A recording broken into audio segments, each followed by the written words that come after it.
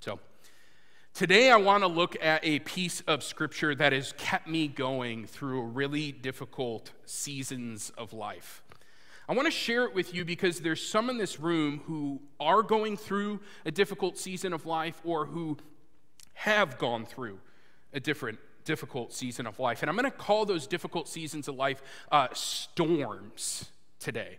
I'm just going to kind of use that as kind of the storms of life because uh, when life kind of gets dark and you don't really know where the end is or the beginning is and it's just hard and it's loud, it kind of feels like a storm. Kind of, I think of myself as a ship out at sea with waves tossing me back and forth. And so if you aren't in a storm this morning, uh, you'll likely be going into a storm at some point. My uh, old pastor used to say there's three stages of life. You're coming out of a storm, you're heading into a storm, or you're in a storm of life. That, that just kind of just seems to be how it is. And we don't know how long each of those seasons is, but that's just kind of the reality of it. We all go through difficult seasons. We all go through difficult storms. And it doesn't matter how much we pray or love Jesus, we will find ourselves in difficult seasons of life on a regular basis. The truth is, I found myself in one the past several months. It wasn't accompanied by some great tragedy, but rather just a lot of feelings of doubt, uh, a lot of feelings of anxiety, a lot of feelings of worthlessness and self pity, and uh, desires to flee my current situation and depression so much more. And some of you are really surprised to hear that. It's like, wait, the pastor struggles with doubt and anxiety? We, we literally pay you to be perfect. We want a refund on some of that money. Like, we pay you to be a Jesus person, and here we come to find out, scandalously, you haven't been a perfect Jesus person? Huh? Some of you have never heard a pastor be honest like that. You've grown up in church for decades and you just assumed that the person that brought the word on a Sunday morning lived this perfect life, had the perfect prayer life, had the perfect family life. And if that was you, I hope I popped that bubble pretty big today. Because the past several months has been tough for me and I'm not perfect. And I haven't been perfect. And that won't come as a shock for those of you that know me. And it won't come as a shock for those of you who've been in the church for a long time. Here's the truth there is no perfect Christian, there is no perfect church. Now, some of you are wondering, but you've continued to preach and do your job. Yeah. I've continued to show up at the office and do my job because here's the truth if I only preached when I felt perfect with the Lord, you'd never see me. If I only wrote sermons when I felt like I was on the mountaintop, you'd get like seven a year be really awkward 43 times a year when you showed up. So, all of us continue to go through the motions at times, but we're in these storms of life. If you're newer to Celina First or you've been around, here's what Celina First is it's a body of believers made up of people who struggle, who proclaim to love God, but then struggle to follow God who know in their heart that they love the Lord, but still struggle with doubt. Who battle addiction, who battle fear, who worry, and have this desire to flee from life's responsibilities when it seems like it's all too much. But we don't talk about that much, do we? We don't talk about that much at a church. We don't often share what's on our minds because one of two reasons we know that we actually have it much better than other people. So that's one of the things that keeps me from being honest at times is I look around and I see other families struggle or I see other people struggle and I think, man, you're going to complain about what you, how you feel. Look at them. Like they've got it so much worse. So so you kind of you kind of guilt yourself back into just being quiet because because I could have it worse.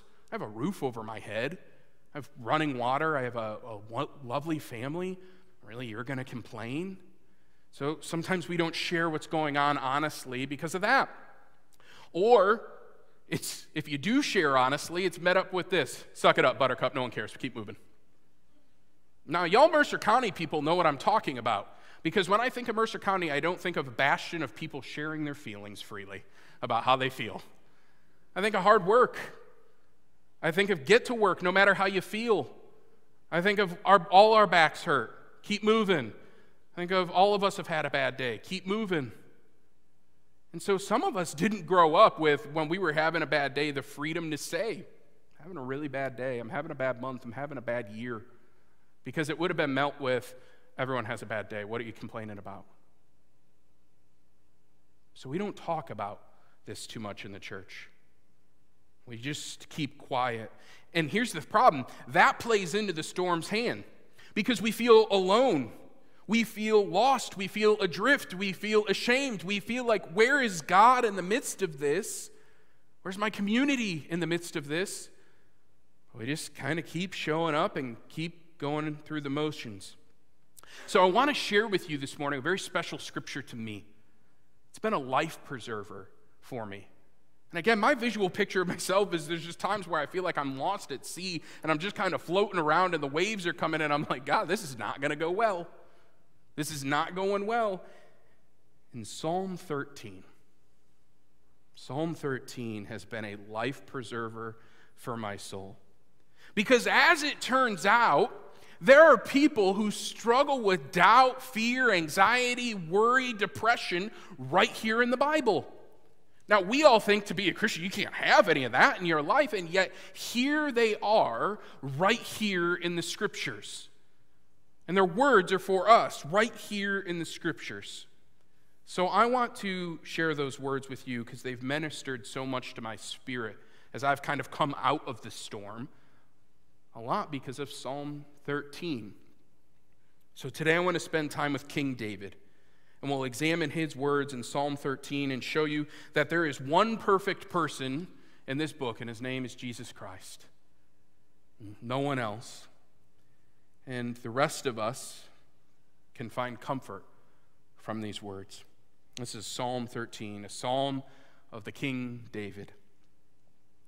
How long, Lord, will you forget me? Forever? How long will you hide your face from me? How long must I wrestle with my thoughts and day after day have sorrow in my soul? How long will my enemies triumph over me? Look on me and answer, Lord my God, give light to my eyes, or I will sleep in death. And my enemy will say, I have overcome him. And my foes will rejoice at my fall. But, most important word in this psalm, but I trust in your unfailing love. My heart rejoices in your salvation. I will sing the Lord's praises, for he has been good to me. Now, this psalm will likely stand out for some of you. Probably many of you aren't really familiar with it because it's not Psalm 23. We don't read this at funerals. And this might stand out to you because you think King David He's the one that I learned about. He slayed Goliath. That's King David writing, Where are you, God? Show up or I'm going to die. My enemies are going to try. He's the great king. He's the great king of the Jews. He united all of Israel in the promised land, and yet here he is at a very low spot, clearly, crying out before God. The great king is questioning God's very presence in his life. How could that be? Well, church, the great king and the great wrestler are one and the same. David had all of this going on in his heart and God's anointing on his life. So let's walk through what he's saying in this psalm. There's a very unique structure to it. And he starts in verse 1 by asking three specific questions How long, Lord, will you forget me forever? And how long will you hide your face from me? Three clear questions to God about David and God's relationship. How long will it be like this? How long will you forget about me? Because it's like this, you've clearly forgotten about me. How long will you seemingly hide from me. There is this clear, okay, God, where are you? from David. You're not coming through in the way I need you to. It's like you've forgotten about me in the midst of this storm of life. It's like I'm all alone. David seems to be writing and crying out. We've all been here, haven't we?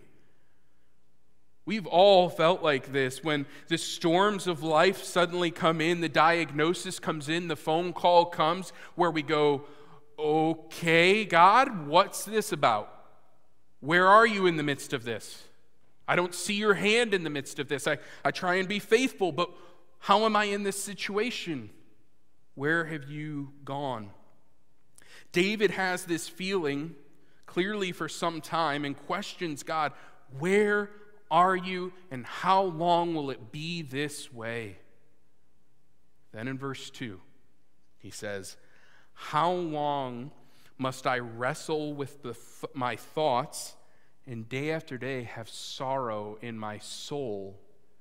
How long will my enemy triumph over me? This turns from a question of God, asking questions to God, to still asking questions, but giving a picture of David's current state. He's what he's feeling in the midst of God's seeming absence.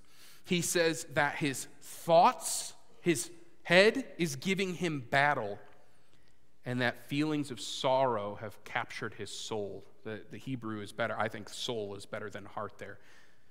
And that an enemy is triumphing over him. And I don't think an enemy has to be clearly human here, but perhaps an issue or a situation. Certainly, it can be that for us rather than a direct human enemy. David has all these worries and doubt, and he's wrestling in his head, which produces this sadness in his heart. Church, what did I tell you? Here you are on the pages of Scripture. Here I am on the pages of Scripture. All of us have had seasons of doubt, fear, anxiety racing around our heads, and we think, I'm a Christian. I believe in God, but man, I don't feel like God is in my life right now. I'm a Christian, I feel these things, and I look around and I can't figure out why do I feel this sadness in my soul? I'm supposed to be a Christian, and yet it feels like a weighted blanket. It's just carried on me. It's heavy. David continues in verse 3 Look on me and answer, Lord my God. It's a weird thing here that David's doing. He's commanding God to do something. I don't know if you're familiar with this. You don't really get to tell the boss what to do, all right? David is actually making a command to the Lord here. Look on me and answer. And then he steps it back, Lord my God. it's, like, it's like when you finally talk back to your parent and then you say, ma'am, at the end, right? Look on me and answer, Lord my God. Look on me Give my light, give light to my eyes, or I will sleep in death, and my enemy will say, I've overcome him. My foes will rejoice when I fall. David's attention turns back from how he's feeling to God in the midst of how he's feeling, seemingly crying out or demanding that God give him an answer to look on me, give me light.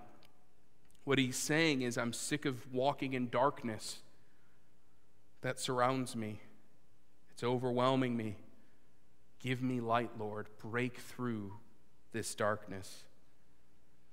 David is looking down an enemy, and again, I don't think it has to be a human enemy. We're not told. For us, it's likely more our battles with anxiety or addiction or depression. And we worry that if it stays like that much longer, the enemy, whatever it is, is going to win. Can you relate? Can you relate to being in seasons like this where your soul feels sorry? You're doing battle with thoughts in your head. You're looking around and you see God nowhere to be found? Because I know it's not just me, and you're thinking, I'm a Christian. I know, I know what I'm supposed to believe, but I don't really believe any of that. I know what I'm supposed to feel, but I don't really feel any of that.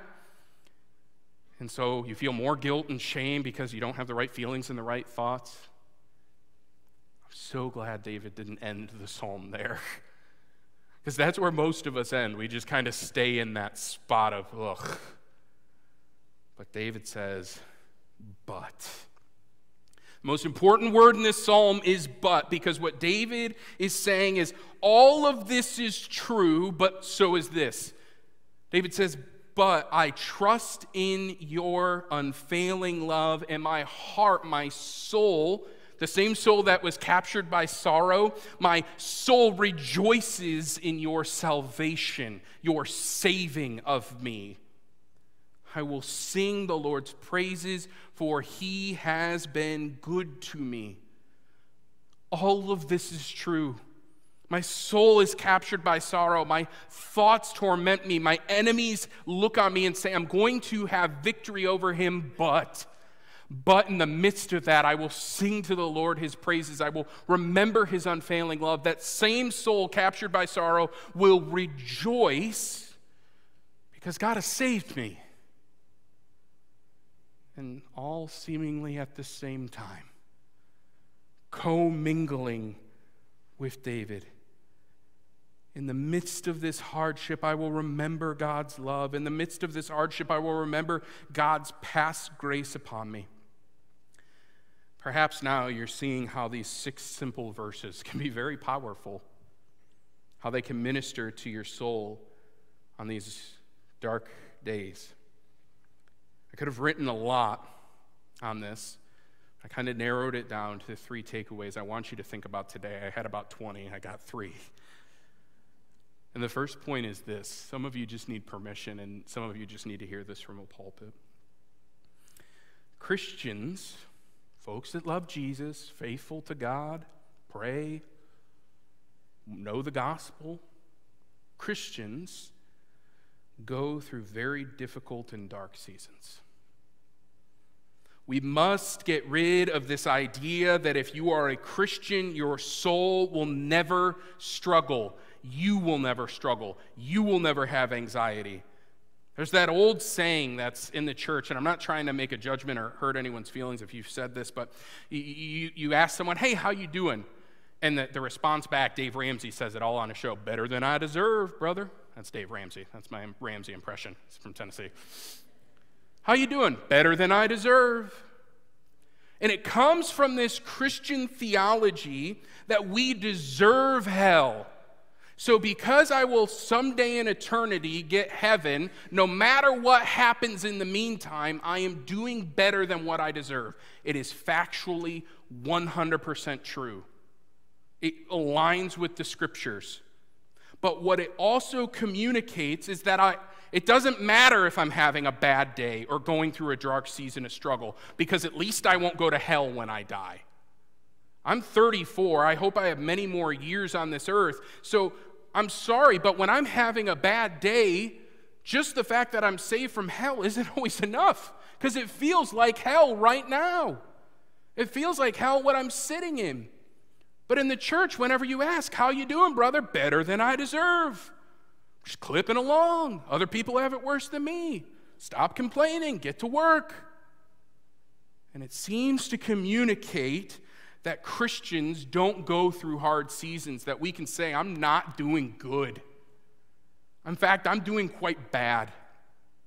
My heart feels sorrow. And so what happens is we all run around and fake it. I'm a Christian. I can't struggle. I can't be wondering where God is or even if He exists. I can't have this much fear and doubt.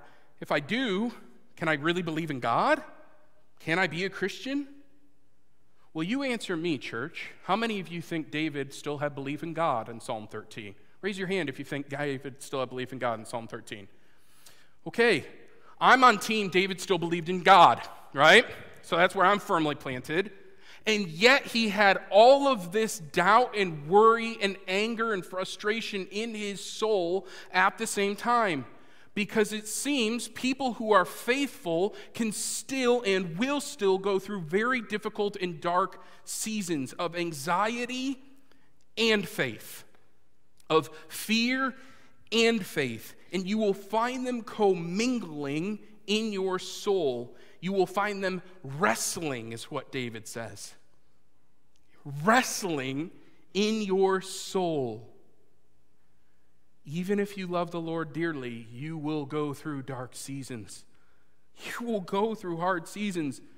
You will have doubt, fear, anxiety, worry, lack of trust, lack of faith, to name a few. And in the midst of everything, you might look fine on the surface. In the midst of everything, people would look at you and be like, oh, they're good. That's probably what people looked at with David. He's, he's fine. Kingdom's going pretty well. And people will look at you and do the same. You might feel like that today. That's how I felt. Some of you are like, man, I can't believe Craig had that going on. I thought the sermons were all right. I mean, it wasn't his best, but he was fine, right? Give him a D, D plus. That's on a curve. It's nice. I mean, be surprised. Wait, wait he, he was feeling these seasons? Yeah. And this sermon isn't about me, but I want to stand up here and be vulnerable and honest because I know that by me sharing this, it will crack the door open for you to be vulnerable and honest in your life. If it takes me getting up here and admitting that I've gone through really hard and dark seasons, and not just because my dad died or not just because something bad happened, my dad hasn't died. Dad, I'm sorry, I didn't just mean to kill you in the sermon. He watches online. I'll get a text message like, What are you doing, man? Like, I didn't go through any tragedy, and yet I was feeling this, and not five years ago, five weeks ago. And if I can stand up here and be honest, and it just helps some of you feel like I'm not alone, then it's worth it because Christians go through very difficult seasons of doubt and struggle that is hard and it is dark. So let's not be the kind of church that just pretends. Let's not be the kind of church that just pretends to have it all together. We all have perfect marriages. We all have perfect kids. We all have perfect faith. We all have perfect bank accounts. We all have perfect social media, manicured lives. I would rather be the kind of church that looks like King David honest, invulnerable, and seeking God in the midst of it. Because it's not just about being vulnerable. It's not just about saying, oh, I'm really struggling today, just so that people go, oh man, I'm, I'm really sorry. It's about being honest, but David wasn't just honest for honest sake, he was honest in the middle of his seeking. He didn't just sit down and wallow in it, he sought God out in it, which is our second point today. When you're in the storm, cry and seek God. I see people fall into two different ditches typically we fall into the one ditch that we've talked about a little bit where the storm is raging, but we just pretend everything is all right. you know, like life is falling apart and you're just like whistling. We've all seen that picture. I don't know if you've seen it of the guy mowing his lawn and there's a tornado in the background. and it's like, nope, just doing my thing, just keeping my eyes, just making straight lines. And it's like, uh, there's a tornado. You should probably. so some of us do that when the storms of life come up, and that's a ditch we fall into. We just pretend everything's fine. I'm blessed, to, uh, you know, better than I deserve, and we just kind of keep moving. Or there's another ditch we fall into, which is a mixture of self pity and walking away from the faith. And I don't mean self pity fully in a negative way. These people have things to feel sorry about. There are real issues in their life that they're facing. If you get laid off and suddenly your life's upended or you get the cancer diagnosis, you're going to have some self pity, and that's okay. But it can lead to this place of falling in this ditch and kind of feeling like they're called to walk away or they don't know what they believe. And it's in these moments that their enemy, whatever that enemy is, tries to claim victory over them. I've seen some friends fall into this ditch where they just kind of walk away from the faith that they once held so dear and clung to because they can't seem to square up. How could a Christian find themselves in such a difficult and dark season and have God still love them? How could God, if He loves me, allow something like this to come into my life? The question that's been asked since the beginning of faith why do good things happen to bad things happen to good people? And so they fall into this ditch and they sit there and they just kind of wander away from the faith because they can't square up. If God really loved me, he wouldn't let me be here. David shows us another path. Not one of pretending everything's okay, not one of saying, I'm done with any of this. David shows us one of crying out and seeking God in the midst of it. He's asking God, Where are you? When will you come through? When are you going to light up the darkness? He says five clear questions, crying out to God and pleading and asking, How long will this storm last? How long will this darkness last? And some of you need to hear permission this morning that it is okay to ask God really, really hard questions.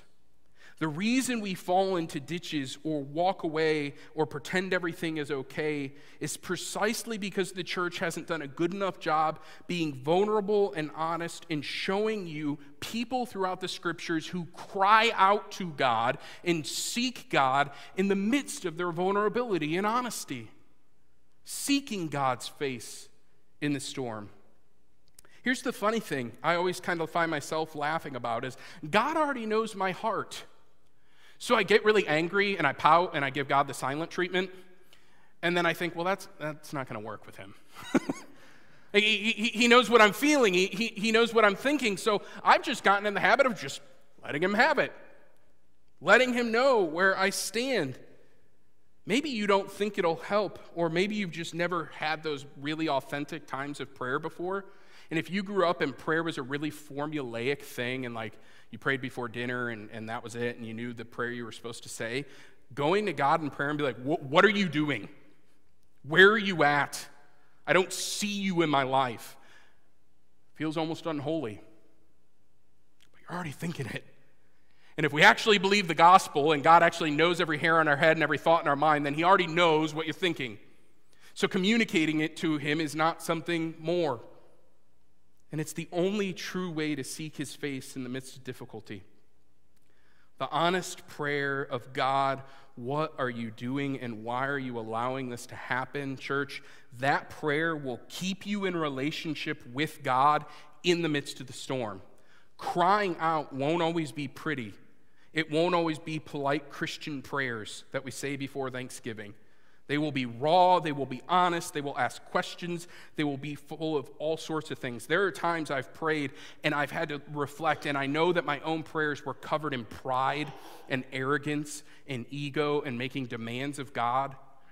And I've had to go back and kind of unravel some of those things, but I would rather pray in that way than not pray at all. I'd rather wrestle through my sin in the muck and cry out in the middle of the storm and hand it all over to God because I actually believe He's big enough to handle it. And in that act of prayer, at least I'm seeking His face. At least in that act of prayer, I'm begging for Him to come through in the midst of the storm. I'm begging for His light to shine. When you're in the storm, you don't have to pretend, church, that it's sunny and 75. And I beg you not to walk away from the faith. Instead, walk the path David is showing us and cry out and seek God's face of his hand of mercy. So, some of you might be wondering, well, Craig, when did it break for you? Like, what, what did that look like? Some of you, when you have a really bad week with God and your faith and you, you struggle, some of you skip church. I know you do because you're like, I don't want to go anywhere near church, right? You know what I have to do when I have a really bad week? I have to write a sermon. So I want you to imagine you're depressed, you're anxious, you're worried, you don't feel like God is real, you at least don't feel Him in your life. Now I want you to write a sermon for 250 people proclaiming, Jesus is good! Because if I just get up here and I'm like, mm, is He? Some of you are going to have a problem with that. So for, this is probably six weeks ago, I was just feeling weighted. It literally felt like I had a weighted blanket on my soul and I'm praying and I'm crying out, and specifically going, if you want me to write a sermon, this was my prayer in my office, if you want me to write a sermon, you have to do something. I can't write a sermon feeling like this. And I'd say that, and then I would try and write a few paragraphs, and they were garbage. And I'd be like, you, I can't do this, God. and I have a very public deadline. You have to come through. You have to break through. And I'm just sitting at my desk feeling like, what am I doing? How is this what Christianity is? How is this what pastoring is? God, you are not coming through, and I don't understand. If you can make the heavens and the earth, surely you can part these clouds in my soul. And these were my prayers. This isn't me reenacting, this is literally what I'm sitting at my desk praying. And probably an hour later, my phone rings, and it's Pastor Randy Christian. And some of you know Randy, some of you don't. I'm like, I have no idea why Randy's calling me. I pick up, like, hey, breath, hey, Randy, how are you? Like, I'm not screaming at my desk. And, the, and Randy says this I felt, I felt prompted by the Holy Spirit that I needed to call and pray for you right now and pray over you. And I just was like, okay. And I start just crying. Because God heard my prayer in the midst of the storm. And Randy just prayed over me, and his words were like grace. I don't even know what he said, but it just felt like that can't be a coincidence. Randy doesn't call me just to pray over me. I think he's done that twice in six years. That I, but on that day and that moment and that time of crying out, Randy calls me and just says, Hey, I just felt led by the Holy Spirit to call and pray for you. And I'm telling you, it broke the storm. The prayers of another brother. And I needed it to come from another human at that point. I really think back now. I needed to see God answer me in a supernatural way to remind me, like, okay, that's weird. That, that's God. That's moving in my life. And, and he prayed, and we hung up, and it was probably a two minute phone call, if that. And I didn't tell him what was going on in my life. I just said, hey, thanks. And, and, and this is what I, I was like, all right. And I just wrote the sermon. And the words were there because God was there. He was there before. I just couldn't see him. It was dark. And a brother in God and I just cried out and I felt angry and I felt upset and I was just crying out in the midst of that. And that prayer brought me back to my foundation. And that's our final point for us today. Do not forget your foundation love, salvation, and past blessings. That prayer brought me back. It centered me in. It it gave me enough light through the storm that I could kind of see and I could feel God's presence in my life. And the, the Spirit was moving in other people's hearts on my behalf. And who am I? And God loves me that much. And it brought me back. And that is what David says here.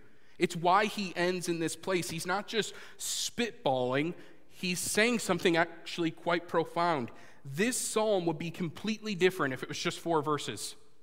But this final verse shows us a path in the midst of the storm where David settles his soul and comebacks and camps on in the middle of the storm. He shows us his foundation the unfailing love of God, his salvation, and the times God has been good to him.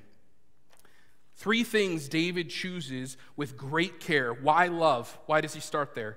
because remembering God's unfailing love will keep us in relationship in the midst of the storm. It's no different than marriage when you're fighting. Love is what brings you back together. Love is what keeps you in relationship in the midst of the storm. And there will be times that you will begin to wonder if God ever loved you at all. Because if He did love you, how could He allow this hard thing to happen to you? Or has God left you? But when you remember God's unfailing love, it will remind you that God's love is unfailing, even in the midst of the storm, that He can be with you in these things. And it's why David says, I will trust, I trust in your unfailing love. That's really important, church, because David is choosing to trust in God's love above his circumstance. If God says his love never fails, David is choosing to trust in it. And trust means you're willing to put your weight on something. I trust a bridge, so I'll walk across it, even though there's currents underneath. I trust in God's love, not the circumstances in my life. I trust in God's love, not the lies that roam around your heart and in your head. I trust in God's love so that I stay in relationship with Him. Next, David says, I remember, my heart rejoices, my soul, the same one that's captured by sorrow, it rejoices in your salvation. That fact that God has saved us as a Christian salvation, God does rescue us from hell and promises us heaven beyond this life, and that gives us hope in the midst of the storm. Because the truth is, we will all have one final storm in this life, and it will be the last one.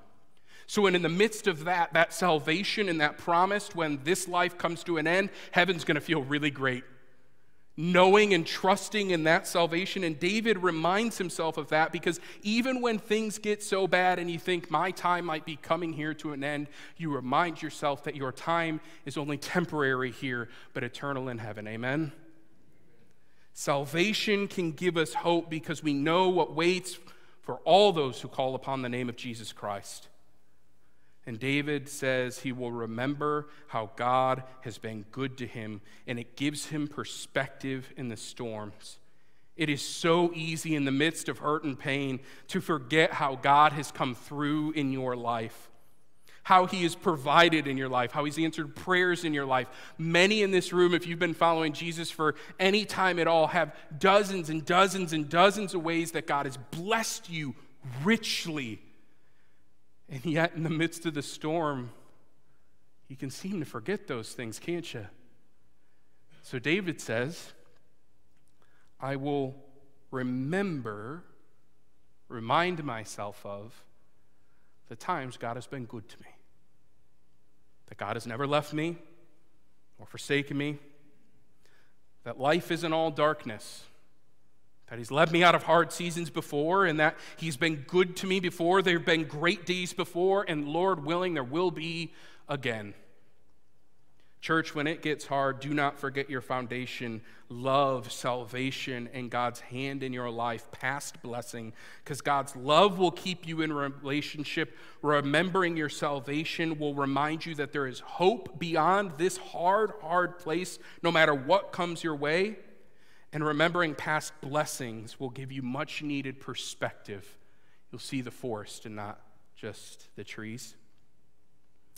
My hope for you today is that you see people in the Bible who have struggled and wrestled and doubted and feared in the face of knowing God is good. And my hope for you today is to see that those will, in, at times, commingle in your soul. And I hope that you hear this today and be like, wow, I guess I just don't struggle with that. Praise God if that's your story. For the rest of us, here we are. For the faith filled doubters, here we are. For the anxious praisers, here we are. For those of you who wonder and worry and, and have these seasons of depression, here we are. We're standing next to King David. I feel like that's pretty decent company to keep.